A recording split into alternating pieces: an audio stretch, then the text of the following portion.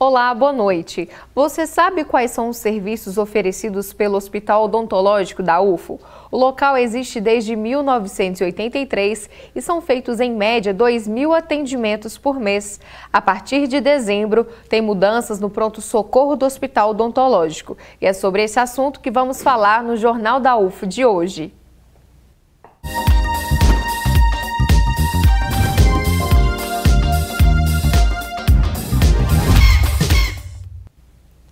O ano de 2018 foi repleto de novidades para a TV Universitária.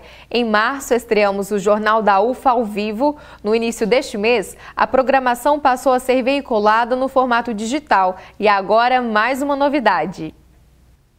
A partir de hoje, 28 de dezembro, a TV Universitária de Uberlândia é oficialmente a nova afiliada à TV Cultura. A parceria começou através de um plano de extensão nacional da emissora educativa. A parceria começou com um plano da TV Cultura de expansão por todo o Brasil.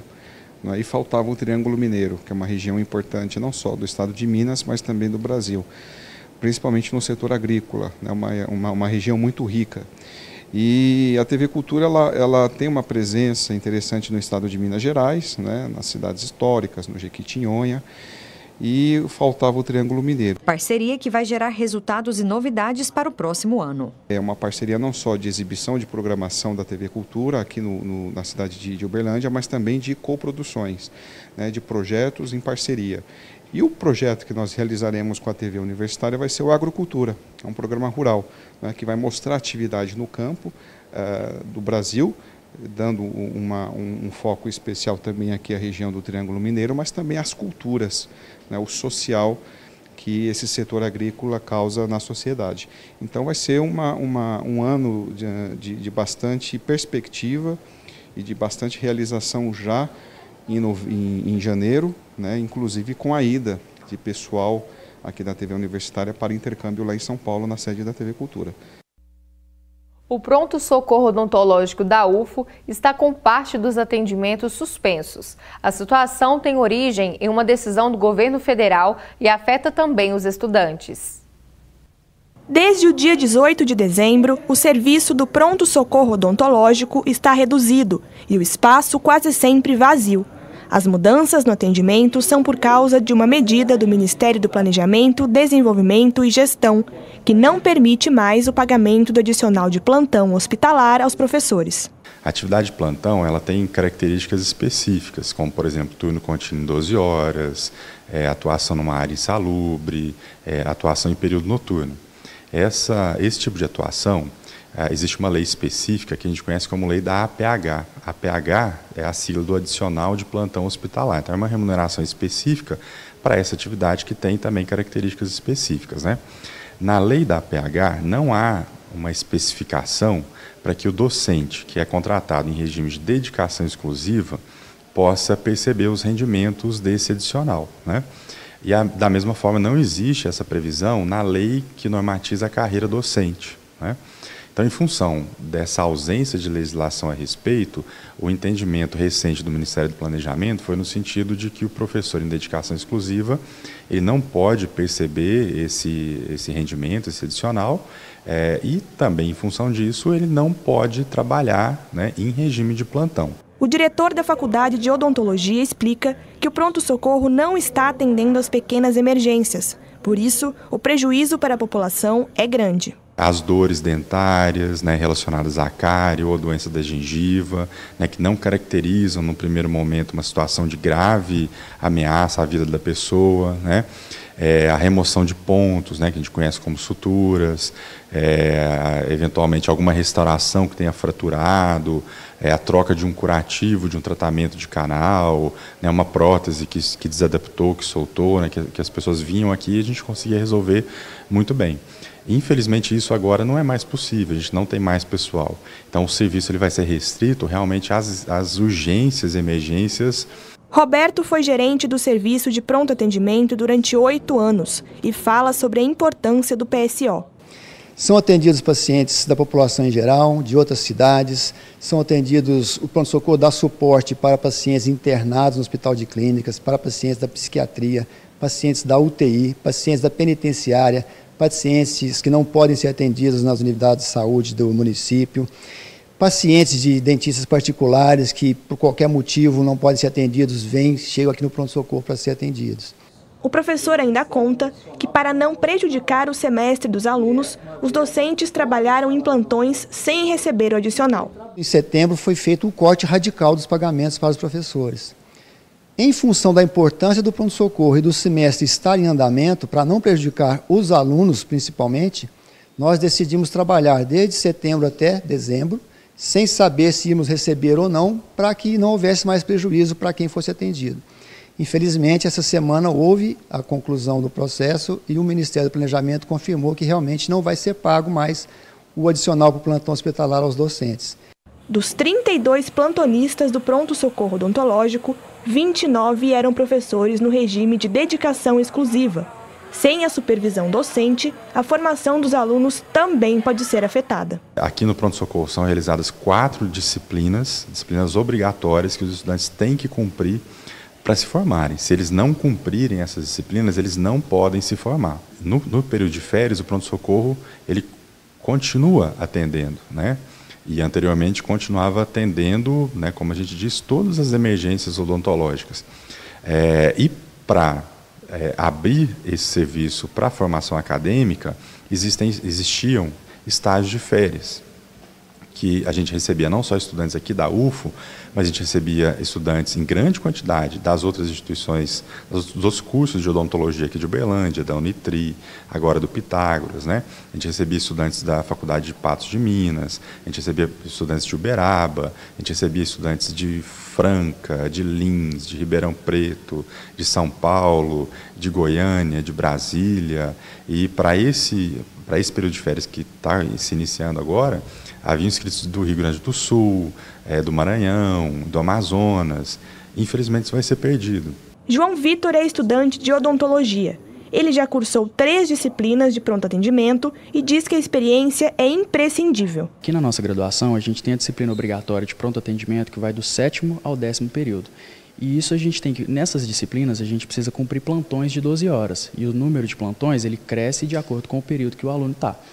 E essa experiência aqui no pronto-socorro, ela contribui demais para a gente pegar a mão, é, ver casos que às vezes a gente não tem a oportunidade de ver na clínica integrada do hospital odontológico, é, diferentes situações que a gente pode, pode encontrar na nossa vida clínica fora da universidade. Então, o pronto-socorro contribui demais para isso, é, para a gente também poder estar aqui com diferentes professores, com diferentes visões. Então, o pronto-socorro contribui demais para a nossa formação, não só para esses alunos do sétimo ao décimo período, mas também para os alunos dos períodos mais baixos que vêm ao pronto-socorro para aprender alguma coisa, acompanhar algum procedimento ou até mesmo auxiliar aqueles alunos que estão cumprindo o estágio obrigatório. Em 2019, ele inicia o décimo período do curso com incertezas. Eu acho que para mim, em particular, que estou indo para o décimo período e falta apenas o estágio em pronto-atendimento 4 para eu me formar, com, como a gente não sabe como vai ficar essa situação do pronto-socorro, se a gente vai poder continuar com os nossos plantões normalmente, o que parece que o que não está acontecendo, pelo menos agora no período de férias, é, a gente não sabe como que vai ficar em relação à a, a nossa a conclusão da nossa graduação. Porque se a gente não pode concluir uma disciplina obrigatória da nossa grade curricular, é difícil te dizer qual que vai ser a minha situação na hora que estiver perto de eu me formar, de eu pegar o meu diploma. Então pode ser que essa seja uma situação que vai comprometer a nossa formação enquanto cirurgião dentista. Para saber como vai ficar a distribuição de pacientes na rede municipal, já que apenas os casos de urgência e emergência poderão ser atendidos no pronto-socorro do Hospital Odontológico, nossa equipe entrou em contato com a Secretaria de Comunicação da Prefeitura Municipal de Berlândia, que enviou a seguinte nota.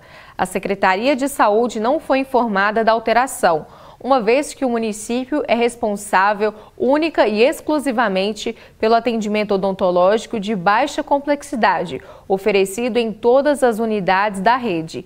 Casos de alta complexidade, de urgência e emergência, são atendidos pelo pronto-socorro da Universidade Federal de Uberlândia, conforme pactuação entre município e UFO. Para falar mais sobre esse assunto, nós convidamos Márcio Magno Costa, que é pró-reitor de gestão de pessoas da Universidade Federal de Uberlândia. Boa noite, pró-reitor, bem-vindo ao Jornal da UFO. Boa noite.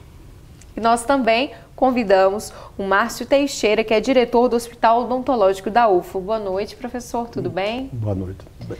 Vamos então primeiro, professor, começar com você. Eu queria saber a sua opinião sobre essa mudança estabelecida pelo governo federal e esse posicionamento também da prefeitura. Como que vai ficar essa distribuição é, de atendimentos, já que infelizmente o pronto-socorro não poderá atender certas demandas, dada a decisão? Eu acho que está acontecendo uma, um equívoco com relação a esse atendimento. Porque a nossa intenção com o pronto-socorro odontológico é atender justi justamente aquilo que é destinado a nós, média e alta complexidade. Acontece com o tempo, né? E como a gente funciona, é, como diz o jargão popular aí, a porta aberta, independente de onde que vem esse paciente, ele pode ser vindo da área sul, norte, leste, oeste, de todo jeito ele seria atendido dentro do, do, do pronto-socorro.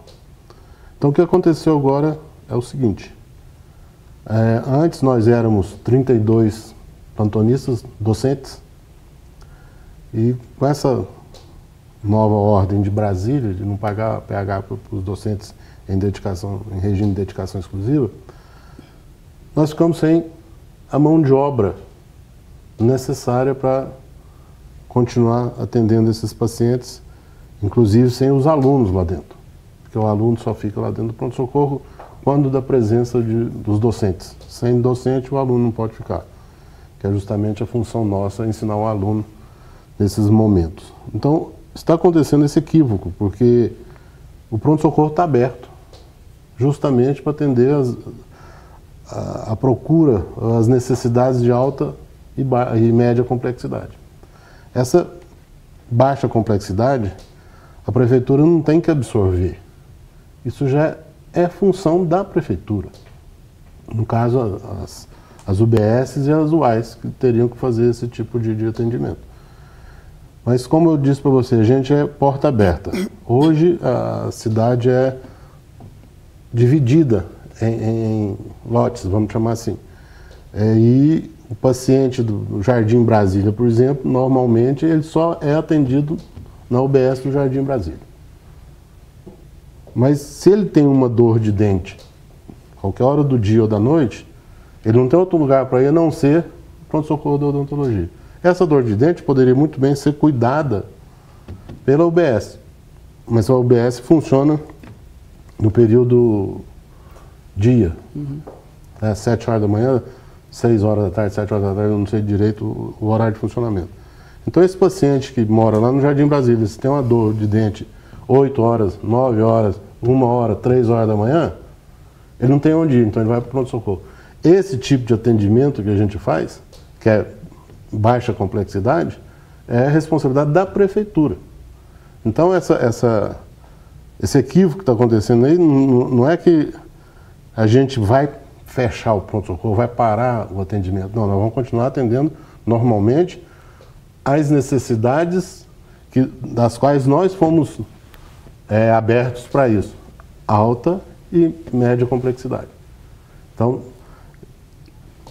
tem a equipe da bucomaxilofacial lá, na cirurgia e traumatologia, funcionando normalmente, mas só que agora sem o que a gente chama de clínico geral, que seríamos nós os alunos. Certo? Que a, a cirurgia e traumatologia bucomaxilofacial continua atendendo os pacientes politraumatizados, os pacientes que chegam com abscessos muito grandes, têm que ser atendidos naquele momento. Mas a, o clínico geral, que seria remoção de cárie com o dente está doendo e tal, aí já, nós não estamos fazendo porque nós não temos aluno e nem docente lá dentro. Dada essa decisão do governo. Né? Exatamente. Né? Para o reitor, a UFO, a universidade pretende recorrer a essa decisão? Então, é importante, eu acho, a gente fazer um, né, uma breve contextualização. Essa história começou lá em agosto, quando nós recebemos um comunicado do Ministério do Planejamento dizendo que a partir da folha de setembro os plantões deveriam ser inseridos num novo módulo, um módulo de adicionais de plantão, criado pelo Ministério do Planejamento. Até então nós achamos que aquilo era eh, não teria nenhum impacto importante, porque isso ocorre rotineiramente né, dentro das nossas atividades. É, eventualmente a gente tem módulos novos e a gente precisa se adequar a eles, então isso não nos causou nenhuma, nenhum impacto no primeiro momento. É, mas como costumeiramente fazemos, nós iniciamos alguns testes, né, para não deixar para o momento né, de, de fazer efetivamente a, a colocação, a inserção desses plantões no sistema. E lá, nesse momento, nós detectamos que os, os professores em dedicação exclusiva é, não estava sendo permitido o pagamento da PH. Então, desde aquele primeiro momento, nós já fizemos uma, é, uma contestação disso, especialmente lá no início, em relação à questão legal, né? porque não houve, nesse meio tempo, nenhum, nenhuma alteração da legislação que impedisse esse pagamento. É, fomos ao Ministério do Planejamento, eu e o professor Valdo estivemos lá pessoalmente para discutir essa questão. E fizemos ao longo desse tempo é, uma série de, de, de, de, de envios de documentos né, para subsidiar a diretoria, que é a diretoria de remuneração, é, numa análise inicialmente técnica e que nós conseguimos, com toda essa documentação, é, ter um parecer favorável da equipe técnica. Como havia um impasse entre a folha de pagamento do Ministério com essa decisão né, da equipe técnica da, da, da diretoria de remunerações, é, foi necessária então a consultoria, a, uma, uma consulta à consultoria jurídica do Ministério do Planejamento. E essa decisão que chegou para a gente agora, dia 17 de, de dezembro, dizendo da impossibilidade e aí apontando que a matéria mostrou, né, que que há uma dificuldade, que pelo entendimento, do Ministério do Planejamento, o professor em dedicação exclusiva já recebe né, uma remuneração a mais e que, teoricamente, isso poderia né, suportar atividades dessa natureza. Mas o fato é que são atividades que, que ocorrem, na grande parte das vezes, fora do horário de trabalho do professor. Que pese você ter é, atividades diárias, mas todas elas são para além das 40 horas né, do, do, do professor.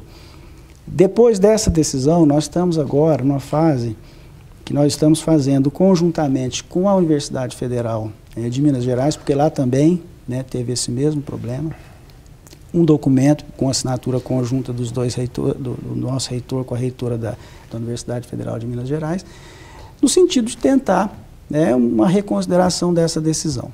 Né, porque, de fato, aí Há um impacto é, importante na assistência, como o Márcio né, bem colocou, mas há um impacto muito importante na formação dos nossos alunos. Né? A, matéria mostrou, né, quer dizer, os alunos têm atividades ali a partir do sétimo período obrigatórias, regulares e curriculares, e que além dos estágios que são é, voluntários, né, como foi, foi veiculado na matéria, vários alunos de outras instituições vêm à Universidade Federal de Belém, ou seja, aquele pronto-socorro é uma referência nacional. Então, é um serviço que funciona há 36 anos, né, de forma ininterrupta, ao longo desses anos todos nunca fechou. Né? Então, sim, de fato é uma perda muito grande e que nós, né, da administração, estamos fazendo todos os esforços, buscando todos os caminhos para tentar reverter essa decisão. Tá certo. Tá? Daqui a pouco, então, a gente continua a nossa conversa. Okay. Depois do intervalo, vamos então continuar essa entrevista sobre as mudanças no atendimento do pronto-socorro odontológico da UFO e ainda tem as dicas da nossa agenda cultural. Não sai daí, nós voltamos já.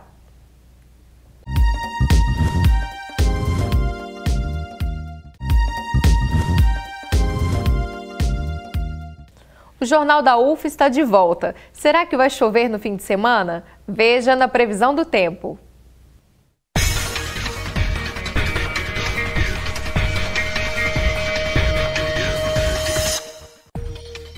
Em Uberlândia deve chover neste sábado e a temperatura máxima é de 26 graus e a mínima 19.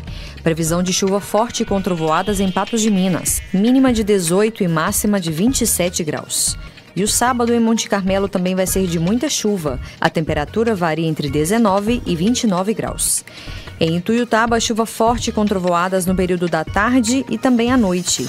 Mesmo chovendo, o tempo vai esquentar. A máxima prevista é de 32 graus e a mínima fica em torno de 20. Sábado chuvoso também em Araxá, possibilidade de trovoadas ao longo do dia. Mesmo com a chuva, vai fazer calor e os termômetros podem indicar temperatura máxima de 30 graus e mínima de 19. Você conhece quais são os serviços oferecidos pelo Hospital Odontológico da UFO? Saiba mais na reportagem. É, o Hospital Odontológico é um dos órgãos é, da Universidade Federal de Uberlândia e ele tem a função de é, apoiar, dar as condições para que as atividades fins da universidade, ensino, pesquisa e extensão, elas sejam realizadas. Então, no Hospital Odontológico, os alunos de graduação, de pós-graduação da Faculdade de Odontologia, da Escola Técnica de Saúde, eventualmente até de outros cursos, de outras faculdades, por exemplo, nutrição, psicologia, enfermagem, medicina, né? É, esses alunos também participam das ações que são desenvolvidas no Hospital Odontológico.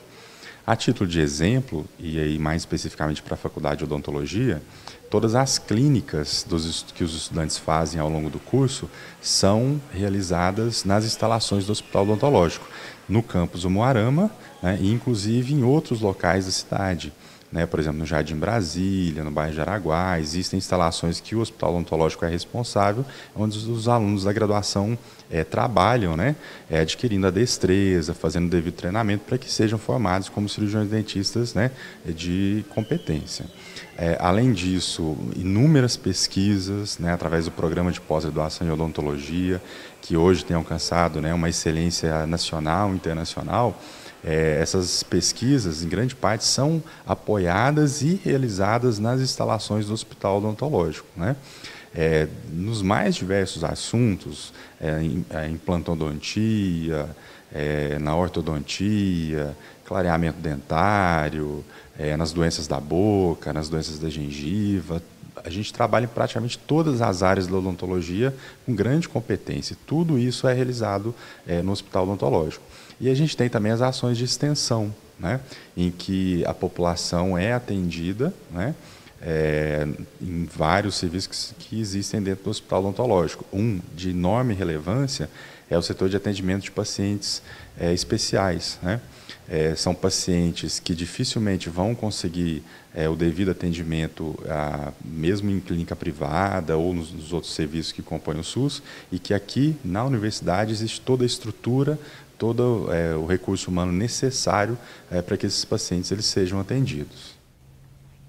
Professor Márcio, vários são os serviços desenvolvidos no hospital odontológico, como foi mostrado na reportagem, e as pessoas não precisam é, temer, porque o pronto-socorro não vai fechar. É, é isso, né? Não Vamos esclarecer para as pessoas. Bom, os atendimentos o pronto-socorro continua fazendo são aquelas urgências que o paciente, por exemplo, está com o rosto inchado, que a gente é demasiado, é um abscesso agudo, né, que surge de repente, esse paciente é atendido, tranquilo. Uma pessoa, criança, adulto, jovem, cai, avulsiona dente, esse paciente é atendido. No primeiro momento, o que não seria atendido neste momento agora, né, no pronto-socorro, seriam aqueles pacientes que, por acaso, cai uma restauração, né? sente dor num dente que está cariado, que isso é atenção básica, essa atenção é a prefeitura pode fazer. Então, no geral, é, é mais ou menos isso aí. Então, vai ser atendido só pessoas com a urgência assim, grave. Né? Então, caiu no chão, quebrou dente, em qualquer outra situação, vai para o pronto-socorro funciona 24 horas, continua funcionando a, a cirurgia de traumatologia bucomaxilofacial 24 horas por dia, 7 dias por semana. Isso aí não, não parou, não fechou. Então essa, essa preocupação, a população pode ficar tranquilo quanto a isso aí, que não está fechado. Está fechado só para essas pequenas necessidades que o paciente tem, que tem dificuldade de ser atendido na, na, na, nas UBSs à noite, principalmente à noite. Porque às vezes o paciente trabalha o dia todo, o horário que ele tem para ir procurar algum tipo de tratamento à noite. Apesar de que no pronto-socorro a gente não faz tratamento. A função nossa lá no primeiro momento é tirar a dor, tirar o desconforto do paciente. Quando é possível, a gente faz. Quando não é possível, a gente encaminha para a própria UAI ou para a clínica na, da, da, da, nossa faculdade. Então isso aí, essa parte está fechada. Mas a, a, urgência mesmo está tá aberta 24 horas por dia. A população pode ficar tranquila. Certo. E nesse caso, essa mudança em certos tipos de atendimento aconteceram porque professores de dedicação exclusiva não poderão estar além né, do seu horário atendendo pronto-socorro. Vamos explicar para quem está chegando agora, quem nos assiste, para o reitor, um pouquinho dessa mudança e que ela não é só em Uberlândia, mas nacional em vários setores da área da saúde. É, exatamente. A gente tem hoje no Brasil em torno de 200 e, 200 e poucos professores é, em regime de dedicação exclusiva que estavam fazendo plantão hospitalar. Isso nacionalmente. É, claro que o, o, o, impacto dessa decisão, ele atingiu muito mais a nós, UFO e a UFMG. Aqui na UFO são 62 professores, na UFMG 70 e poucos professores. Então, é, é, nessas duas instituições, de fato, o impacto foi, foi maior. Tanto é que nessa, as duas estão se mobilizando para tentar resolver essa situação. Então, na verdade, é, não é especificamente da odontologia, nós estamos tratando aqui né, do hospital odontológico, pronto-socorro odontológico, mas isso afeta todas as áreas é, nas quais há necessidade de plantão hospitalar. Na área da medicina, na fisioterapia, né, na enfermagem. Então, todos os professores dessas áreas que estavam fazendo plantão hospitalar hoje também estão impedidos de fazer. Por que, que esse impacto é maior no pronto-socorro odontológico? Porque lá né, como a matéria veiculou, são 90% é, do, do quadro de, de, de, profissionais que atuava era, eram professores em dedicação exclusiva. Então aí você tira quase todo o, o corpo né, de trabalho ali, de docentes, e você fica com um quantitativo muito restrito de, de, de profissionais atuando, em razão disso que, que os, os procedimentos agora estão sendo direcionados exclusivamente para essas urgências é, quadros mais graves, quadros de abscesso, como o Márcio colocou, é, hemorragias, né, traumas, seja fraturas, né, traumatismos é, com acidentes, com batida de boca, e isso continua sendo atendido. Mas aqueles procedimentos que eram feitos é, por uma, uma razão é, de assistência, mas muito mais também para uma necessidade de formação dos alunos, né? E aí eu volto a dizer que da, da importância do impacto disso na formação dos alunos, porque nas clínicas do hospital odontológico, a aluna atende, faz procedimentos eletivos. No pronto-socorro é que estão as urgências. Então, a urgência de dor, né, às vezes uma urgência estética, isso era feito rotineiramente no nosso pronto-socorro. Então, esse contato com essas urgências e emergências, é, de fato, nós vamos ter um impacto importante caso a gente não consiga reverter. Porque não se revertendo, é, teremos de seguir com essas, com, com, com as, as, atividades, as disciplinas que são é, obrigatórias, sim, mas possivelmente com alguma mudança no projeto pedagógico, porque da forma como ele está hoje, não é possível nós é, cumprirmos o que está lá, porque são plantões de 12 horas, tanto diurno quanto noturno, feriado, final de semana, e que para assistência ao aluno eu preciso do professor. É. Certo. Então vamos continuar acompanhando essa situação. Ok. Você já sabe como vai curtir o último fim de semana de 2018? Tem muita coisa boa para fazer na cidade, olha só.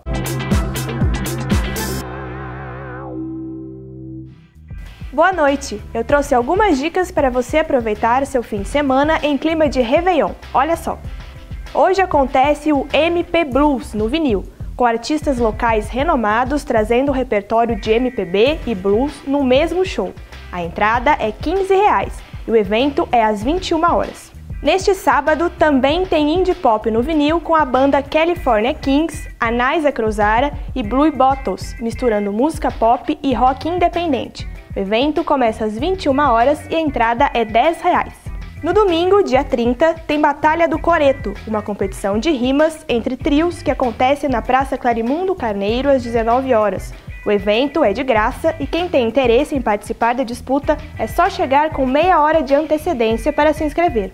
Domingo também tem Léo Cruz cantando Bom e Velho MPB no 16. O show começa às 19 horas e a entrada é gratuita. E para você que quer curtir o feriado em casa, presta atenção nessas dicas. Eu gostaria de indicar o Sol é para Todos, do Harper Lee. É um livro bastante conhecido, estadunidense, e eu acho que as pessoas vão gostar. Um bom fim de semana para você e um feliz ano novo. Semana que vem tem mais Agenda Cultural.